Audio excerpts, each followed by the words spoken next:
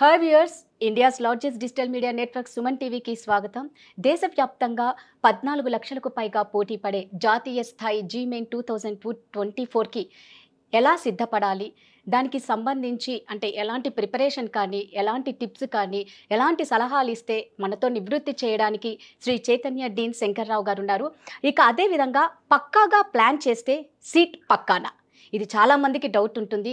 ముఖ్యంగా దీని గురించి మనం బోల్డ్ అని అనుమానాలని సందేహాలని అన్నిటిని నివృత్తి పరచడానికి మనతో ఉన్నారు శంకర్రావు గారు. సార్ నమస్తే సార్. నమస్తే సార్ మరి ఇప్పుడు ఈ జేఈ పరీక్షలు చూసుకుంటే కన్నా అంటే ప్రశ్నలు ఎలా ఉంటాయి సార్? అంటే నెగిటివ్ మార్కెటింగ్ కూడా సారీ నెగిటివ్ మార్కింగ్ కూడా ఉంటుందా? జేఈ మెయిన్ ఎగ్జామ్లో నెగిటివ్ మార్కింగ్ ఉంటుందండి. సో జేఈ మెయిన్ ఎగ్జామ్ అనేది ఎన్సీఆర్టీ సిలబస్ మీద బేస్ అయి ఉందన్నాం ఇది ఐఐటి అడ్వాన్స్కి కూడా క్వాలిఫైయింగ్ ఎగ్జామ్ అని చెప్పుకున్నాం మనం ఇందాక. సో కాబట్టి డెఫినెట్గా జేఈ మెయిన్ ఎగ్జామ్ స్టాండర్డ్ అనేది కొంచెం హై లెవెల్లోనే ఉంటుంది. డిఫికల్ట్గానే ఉంటుంది. అయితే డిఫికల్ట్గా ఉంటుందని మనం భయపడాల్సిన అవసరం కూడా లేదండి. అంటే పేపర్లో వచ్చే అన్ని క్వశ్చన్లు డిఫికల్ట్గా ఉండవు. Hmm. సో దాంట్లో కొంత పర్సంటేజ్ మెరిట్ని డిసైడ్ చేయాలనే ఉద్దేశంతో Hmm. కొంత డిఫికల్టీనెస్తో ఇస్తారు. కాబట్టి ఇప్పుడు యావరేజ్ స్టూడెంట్ అనేవాడు ఆ డిఫికల్ట్ క్వశ్చన్స్ అటెంప్ట్ చేయకుండా వదిలేసినా కూడా వాడికి కావాల్సిన ర్యాంకు సీటు తెచ్చుకోవచ్చు. ఇక ఆ డిఫికల్ట్ క్వశ్చన్స్ ఇచ్చే ఉద్దేశం ఏంటంటే ఆ మెరిట్లో మనం డిమార్గేజ్ చేయడానికి అంటే ఎవరు టాపరు ఎవరు నెక్స్ట్ ఎవరు ఐఐటికి క్వాలిఫై అవుతారు అది డిసైడ్ చేయడానికి ఆ డిఫికల్టీనెస్ కొంచెం ఎక్కువగానే ఉంటుందండి. కాబట్టి దాని గురించి భయపడాల్సిన అవసరం లేదు. ఆ డిఫికల్ట్ అనేది మెరిట్ని దృష్టిలో పెట్టుకొని ఇస్తారు. Hmm. కానీ యావరేజ్ అబోవ్ యావరేజ్ స్టూడెంట్ కూడా వాళ్ళు పేపర్లో ఒక సిక్స్టీ సెవెంటీ పర్సెంట్ అటెంప్ట్ ఈజీగా చేయొచ్చు. అంటే హండ్రెడ్ పర్సెంట్ క్వశ్చన్లు కష్టంగా ఉండవండి. ఒక twenty five to thirty percent డిఫికల్ట్గా ఉంటాయి ఒక ఫార్టీ పర్సెంట్ క్వశ్చన్లు మోడరేట్గా ఉంటాయి. సో ఒక twenty twenty twenty five percent కొంచెం ఈజీగా ఉంటాయి. అందరూ చేయగలిగేలాగా ఉంటాయి. సో ప్రతి విద్యార్థిని దృష్టిలో పెట్టుకొని పేపర్ సెట్ చేయడం జరుగుతుంది కాబట్టి ఎవరి లెవెల్లో వాళ్ళు కాకపోతే ఇక్కడ వీళ్ళు చేయాల్సింది ఏంటంటే అందులో ఉన్న డిఫికల్ట్ క్వశ్చన్స్ని వీళ్ళకి రాకపోతే వదిలేయటం నేర్చుకోవాలి. అంటే ప్రతి క్వశ్చన్ అటెంప్ట్ చేయాలనే ఉద్దేశంతో కాకుండా వాళ్ళ ప్రిపరేషన్ బట్టి వాళ్ళ స్టాండర్డ్ని బట్టి వాళ్ళ ఐక్యూ లెవెల్ని బట్టి మనం ఏ క్వశ్చన్ ఎంత లెవెల్ వరకు ఆన్సర్ చేయగలం అనేది డిసైడ్ చేసుకోవడం చాలా చాలా అది ఎగ్జామినేషన్లో టైం మేనేజ్మెంటు ఎగ్జామ్లో ఏ క్వశ్చన్ ఆన్సర్ చేయాలి ఏది వదిలేయాలనేది బై ప్రాక్టీస్ వస్తుందండి. సార్ ఇప్పుడు మామూలుగా ఎగ్జామ్ గురించి మనం మాట్లాడుకుంటే అంటే ఏ పద్ధతిలో నిర్వహిస్తారు? ఈ బి- జే జీమెయిన్ పరీక్షలు వచ్చేసి జేఈ మెయిన్ పరీక్షలు. ఇక అదేవిధంగా యాక్చువల్గా ఆన్లైన్ ఉంది ఆఫ్లైన్ ఉంది. అంటే ఈ రెండిట్లో ఏ దానికి అవకాశం ఎక్కువ ఉంటుంది? ఆన్లైన్ అయితే జేఈ మెయిన్ ఎగ్జామ్ అనేది గతంలో ఓన్లీ ఆఫ్లైన్ ఉండేదండి ఫస్ట్లో. స్టార్ట్ చేసినప్పుడు. తర్వాత ఆన్లైన్ ఆఫ్లైన్ రెండు అవకాశాలు ఇచ్చారు. అంటే కొంతమంది ఆన్లైన్లో రాసేవాళ్ళు కొంతమంది ఆఫ్లైన్లో రాసే అది మన స్టూడెంట్ చాయిస్. ఆన్లైన్ రాయాలా ఆఫ్లైన్ రాయాలనేది. కాకపోతే తర్వాత తర్వాత ఏం చేశారంటే అండి గత నాలుగైదు సంవత్సరాల నుంచి కంప్లీట్ ఆన్లైన్ చేసేసారు ఇంకా ఆఫ్లైన్ అనే అవకాశం లేదు స్టూడెంట్కి. చాయిస్ లేదు. కంపల్సరీగా జేఈ మెయిన్ ఎగ్జామ్ అనేది ఆన్లైన్లో మాత్రమే రాయాలి టూ ఆఫ్లైన్ టైమ్స్ ఆఫ్లైన్ అనేది ఇప్పుడు అవకాశం లేదు. గతంలో ఉండేది. అంటే ఫస్ట్లో ఇది ఇంట్రడ్యూస్ చేసినప్పుడు ఓన్లీ ఆఫ్లైన్ ఉండేది. దేశవ్యాప్తంగా స్టూడెంట్స్ అందరికీ ఒకే రోజు ఆఫ్లైన్ నిర్వహించేవాళ్ళు. కానీ తర్వాత ఏం చేశారంటే రెండు అవకాశాలు ఇచ్చారు. స్టూడెంట్ కొంతమంది ఆన్లైన్లో కొంతమంది ఆఫ్లైన్లో రాసుకోవచ్చు. సో ఆఫ్లైన్ అందరికీ ఒకే రోజు జరుగుతుంది. ఆన్లైన్ వాళ్ళకి వేరే డేట్లో జరుగుతుంది. సో. టూ డిఫరెంట్ పేపర్స్ ఇచ్చేవాళ్ళు. కానీ తర్వాత తర్వాత ఏమైందంటే మొత్తానికి కూడా ఆన్లైన్లో కండక్ట్ చేయడం స్టార్ట్ చేశారు. ఇప్పుడు ప్రజెంట్ అయితే ఓన్లీ ఆన్లైన్లో మాత్రమే జరుగుతుంది. కాకపోతే ఈ ఆన్లైన్లో ఉన్న పద్ధతి ఏంటంటే స్టూడెంట్స్ అందరికీ ఒకే రోజు ఎగ్జామ్ జరగదు. సో డిఫరెంట్ డేట్స్ ఉంటాయి. Hmm. సో వాళ్ళకి ర్యాండమ్గా అలాట్ చేస్తారు. ఈ స్టూడెంట్కి ఈ రోజు ఈ సెషన్లో ఎగ్జామ్ రాయాలి అని. Hmm. సపోజ్ మనం జనవరి సెషన్ తీసుకున్నాం అనుకోండి. Hmm. సో జనవరి మంత్ ఎండింగ్లో సుమారుగా ఒక ఐదారు రోజులు కేటాయిస్తారు. Twenty five twenty seven twenty eight twenty nine thirty అని. ఒక ఫైవ్ ఆర్ సిక్స్ డేట్స్ ఇస్తారు.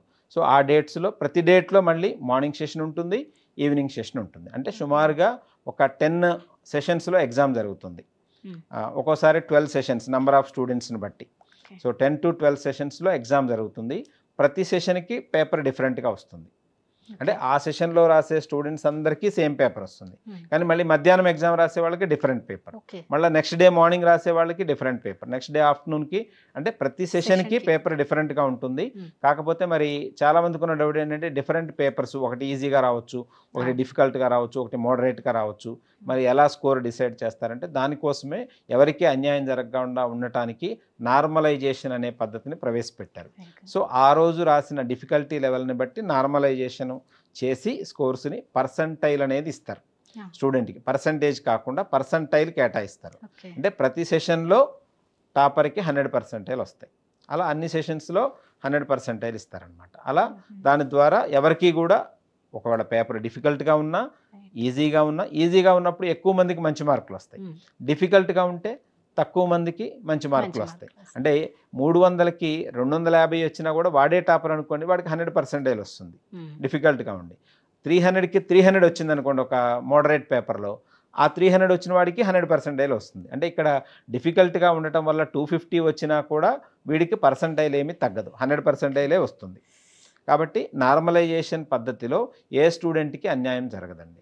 కాబట్టి ఎగ్జామ్ అనేది కంప్లీట్గా ఆన్లైన్లో మాత్రమే జరుగుతుంది. డిఫరెంట్ సెషన్స్లో అది జనవరి అప్పుడు డిఫరెంట్ సెషన్స్ ఉంటాయి. ఏప్రిల్లో కూడా డిఫరెంట్ సెషన్స్ ఉంటాయి. కాబట్టి స్టూడెంట్కి మనకి ఏ డేట్ అనేది మనం చూజ్ చేసుకోలేం. మనం అప్లై చేసిన తర్వాత అక్కడ ఆ సెంటర్లో ఉన్న centres availability number of students apply చేసిన దాన్ని బట్టి ర్యాండమ్గా వాళ్ళు పలానా డేట్ పలానా సెషన్లో మీకు ఎగ్జామ్ ఉంటుందనే ఇన్ఫర్మేషన్ హాల్ టికెట్ ద్వారా ఇస్తారనమాట సరే ఇప్పుడు ఈ జీమెయిన్ పరీక్షను అసలు ఎవరు నిర్వహిస్తారు? అంటే ఇందాక మనం అనుకున్నాము ఎగ్జామ్ అంటే ఎవరికైనా పిల్లలకి భయం ఉంటుంది. అట్ ద సేమ్ టైం పేరెంట్స్కి కూడా టెన్షన్ ఎక్కువ ఉంటుంది.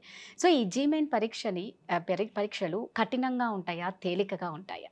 ఇప్పుడు జేఈ మెయిన్ ఎగ్జామ్ అనేది ఎన్టీఏ వాళ్ళు నిర్వహిస్తారండి. నేషనల్ టెస్టింగ్ ఏజెన్సీ అని. అంటే గతంలో సిబిఎస్ఈ బోర్డు వాళ్ళు నిర్వహించేవాళ్ళు తర్వాత రీసెంట్గా ఈ పరీక్షలన్నిటికీ కలిపి సెంట్రల్ గవర్నమెంట్ ఒక బోర్డుని ప్రవేశపెట్టింది.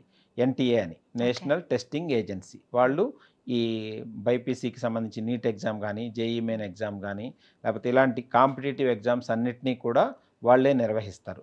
కాబట్టి ఈ ఎన్టీఏ వాళ్ళు సిబిఎస్ఈ సిలబస్ని బేస్గా తీసుకొని ఆల్ ఇండియా లెవెల్లో ఎగ్జామ్ని కండక్ట్ చేస్తారు. ఇది ఆల్ ఇండియా లెవెల్ ఎగ్జాము ఐఐటికి క్వాలిఫైయింగ్ ఎగ్జామ్ అనుకున్నాం కాబట్టి డెఫినెట్గా కొంత డిఫికల్టీ లెవెల్ ఎక్కువగానే ఉంటుంది. అంటే అంత ఈజీగా అందరూ మార్కులు తెచ్చుకునేలాగా అయితే ఉండదండి. ఉండదు. కొంచెం టఫ్ ఎగ్జామ్. అంటే వరల్డ్లో చూసుకుంటే one of the toughest exam అని కూడా మనం చెప్పుకోవచ్చు. ఐఐటి అడ్వాన్స్ దాని తర్వాత మెయిన్స్. ఇవి రెండు కూడా మనం టాప్ ఇంజనీరింగ్ స్టూడెంట్స్ని అంటే వరల్డ్ లెవెల్లో టాపర్స్ని డిసైడ్ చేసే ఎగ్జామ్ కాబట్టి కొంత డిఫికల్టీ లెవెల్ ఎక్కువగానే ఉంటుంది. అది. ఏంటంటే ఓన్లీ ఆ టాపర్స్ని డిసైడ్ చేసుకోండి. ఎందుకంటే మన ఐఐటీలో చదివే ప్రతి స్టూడెంట్ని మీరు ఎవరైనా తీసుకున్నా వాళ్ళు రేపు ఆల్ ఇండియా మన వరల్డ్ లెవెల్లో టాప్ కంపెనీస్కి సీఈఓలుగా అలా ఉంటారు. అంటే ఆ అలాంటి స్టూడెంట్స్ని మనం ఈ రాసే పదమూడు పద్నాలుగు లక్షల మంది నుంచి సెలెక్ట్ చేసుకోవాలి కాబట్టి డెఫినెట్గా వాళ్ళ మెరిట్ని డిసైడ్ చేసే విధంగా కొంచెం డిఫికల్ట్గానే ఎగ్జామ్ ఉంటుందండి. అలా అని భయపడాల్సిన అవసరం అయితే లేదు. అందరినీ దృష్టిలో పెట్టుకొని కొంచెం ఈజీ మోడరేట్ క్వశ్చన్స్ కూడా పర్సంటేజ్ కొంత ఉంటాయి కాబట్టి దాని గురించి వరి అవ్వాల్సిన పని లేదు. అంటే బాగా టాపర్ అనుకునేవాడు మాత్రం కొంచెం ఎక్కువ ప్రిపరేషన్ చేయాలి ఎక్కువ కష్టపడాలి.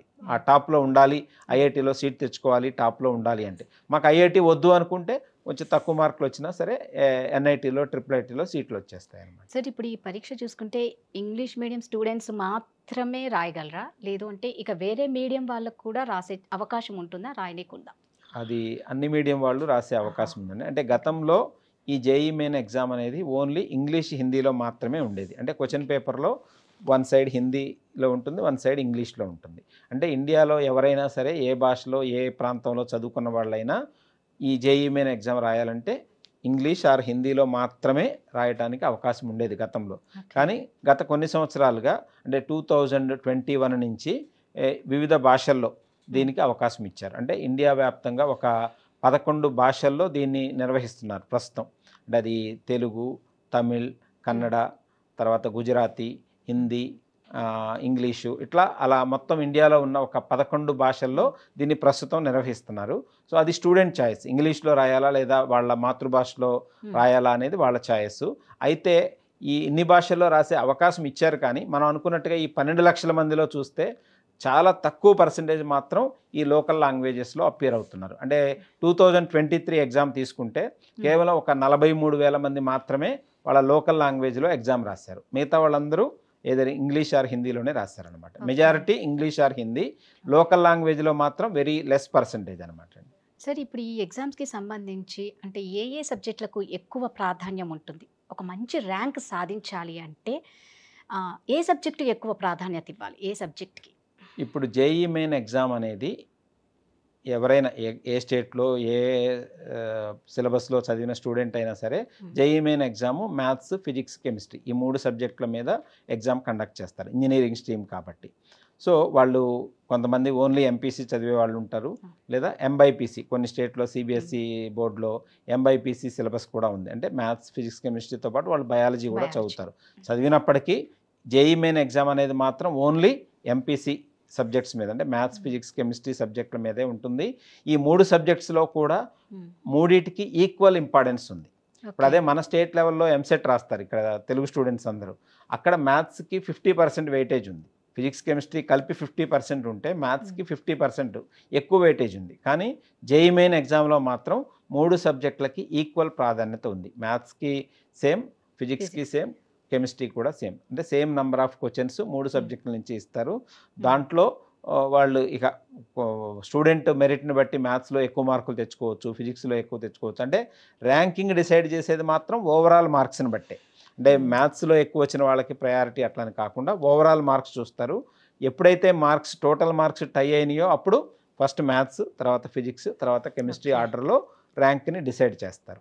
అంటే మ్యాథ్స్లో ఎక్కువ వచ్చిన వాళ్ళకి బెటర్ ర్యాంక్ ఇవ్వడం జరుగుతుంది. అది టై అయినప్పుడు మాత్రమే ఉపయోగపడుతుంది. అదర్వైజ్ ఏ సబ్జెక్ట్లో ఎక్కువ వచ్చినా తక్కువ వచ్చినా ఓవరాల్ మార్క్స్ని బట్టే మన ర్యాంక్ అనేది డిసైడ్ అవుతుంది. సార్ ఇప్పుడు ఈ జేఈ మెయిన్ పరీక్షకి ఎంసెట్కి తేడా ఏంటి? అంటే ఇప్పుడు మనం ఈ జేఈ మెయిన్ ప్రిపరేషన్ ద్వారా ప్రిపరేషన్ ద్వారా మనం ఎంసెట్లో ఏమైనా ర్యాంకులు ఏమైనా సాధించవచ్చా తప్పకుండా అండి. ఇది మెయిన్గా మన తెలుగు స్టూడెంట్స్ అందరూ కూడా తెలుసుకోవాల్సిన చాలా మంచి పాయింట్ అండి. జేఈ మెయిన్ ఎగ్జాము ప్రిపేర్ అయితే ఎంసెట్ రాదేమో లేకపోతే ఎంసెట్ ప్రిపేర్ అయితే మెయిన్స్కి మనం రాయలేమో అనే ఒక అపోహ చాలా మందిలో ఉంది. రెండింటికి సిలబస్ సేమే almost ninety five percent syllabus సేమే ఉంటుంది. ఒక వెరీ లెస్ చిన్న చిన్న టాపిక్లు మెయిన్స్లో ఉండకుండా ఎంసెట్లో ఉండటం లేదా ఎంసెట్లో ఉండి మెయిన్స్లో ఉండకపోవటం అలాంటివి. ఉంటాయి. అది వెరీ నెగ్లిజిబుల్ అనమాట సిలబస్ పరంగా చూస్తే. కాకపోతే మెయిన్ డిఫరెన్స్ ఎక్కడ వస్తుందంటే రెండింటికి ఎగ్జామ్ ప్యాటర్న్లో. జేఈ మెయిన్ ఎగ్జామ్లో రెండు త్రీ అవర్స్ ఎగ్జామే. రెండు కాంపిటేటివ్ ఎగ్జామే మల్టిపుల్ చాయిస్ క్వశ్చన్సే కాకపోతే ఒక మేజర్ డిఫరెన్స్ ఏంటంటే నంబర్ ఆఫ్ క్వశ్చన్స్ జేఈ మెయిన్లో నంబర్ ఆఫ్ క్వశ్చన్స్ చాలా తక్కువ ఉంటాయి. అంటే మనం త్రీ అవర్స్లో ఈచ్ సబ్జెక్ట్లో ట్వంటీ ఫైవ్ క్వశ్చన్సే అటెంప్ట్ చేయాలి. మ్యాథ్స్లో ట్వంటీ ఫైవ్ ఫిజిక్స్లో ట్వంటీ ఫైవ్ కెమిస్ట్రీలో ట్వంటీ ఫైవ్ ఓవరాల్గా సెవెంటీ ఫైవ్ క్వశ్చన్స్ రాయాలి మనం. ఈచ్ క్వశ్చన్కి ప్లస్ ఫోర్ అంటే ఫోర్ మార్క్స్ ఉంటాయి. తప్పైతే నెగిటివ్ మైనస్ వన్ మార్క్ ఉంటుంది. So seventy five into four three hundred మార్క్స్కి ఎగ్జామ్ జరుగుతుంది. సో నెగిటివ్ మార్కింగ్ కూడా ఉంది కాబట్టి వాళ్ళకి పూర్తిగా తెలియకుండా మనం గెస్ పెట్టడానికి ఛాన్స్ తక్కువ ఉంటుంది అక్కడ జేఈ మెయిన్ ఎగ్జామ్లో. అంటే మనకి త్రీ అవర్స్ టైం ఉంది నెంబర్ ఆఫ్ క్వశ్చన్స్ సాల్వ్ చేయాల్సినవి చాలా తక్కువ. సెవెంటీ ఫైవ్ క్వశ్చన్సే ఉన్నాయి. అంటే ఒక్కో క్వశ్చన్కి టైం ఎక్కువ దొరుకుతుంది సాల్వ్ చేయడానికి అదే ఎంసెట్కి వచ్చేసరికి అదే త్రీ అవర్స్ టైంలో వాళ్ళు వన్ సిక్స్టీ క్వశ్చన్స్ రాయాలి. Number of questions one sixty అందులో మ్యాథ్స్ ఎయిటీ ఉంటాయి. ఫిజిక్స్ ఫార్టీ ఉంటాయి కెమిస్ట్రీ ఫార్టీ ఉంటాయి.